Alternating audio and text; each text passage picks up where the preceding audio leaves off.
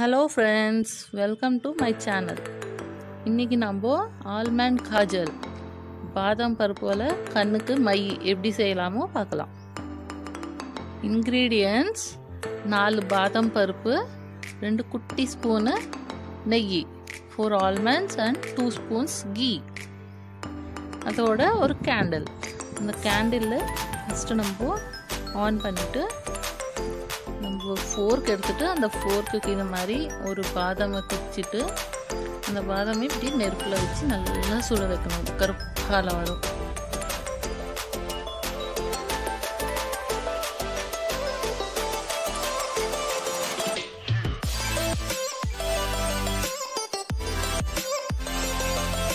இதை மாதிரி ஃபுல்லாக பிளாக் ஆகிற வரைக்கும் நல்லா சுட வச்சுட்டு அதை நம்ம வேறே பவுலில் போட்டு பக்கத்தில் வைக்கணும்.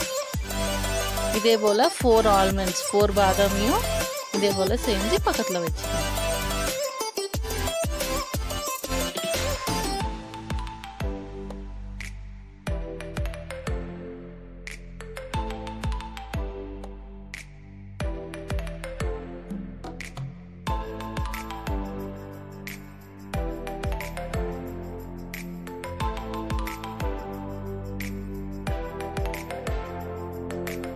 இதே மாதிரி நாலு பாதம் பருப்பையும் செஞ்சு சைடில் வைக்கணும். கூலார வரும். ஒரு ஃபிஃப்டீன் டு டுவெண்ட்டி மினிட்ஸ்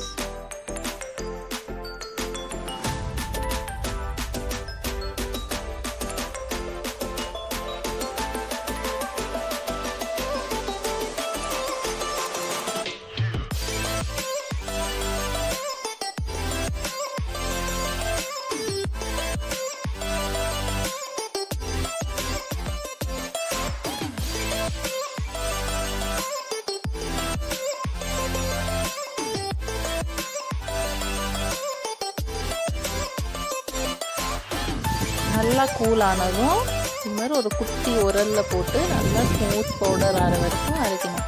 உங்ககிட்ட உரல் இல்லைன்னா மிக்சியில் கூட போட்டுக்கலாம். இல்லாட்டா கை ஒரு கல்லை வச்சு கூட இடிக்கலாம். அந்த ஸ்மூத் பவுடர் எடுத்து இந்த மாதிரி கீலேயோ இல்லாட்டா ஆயில்லையோ போட்டு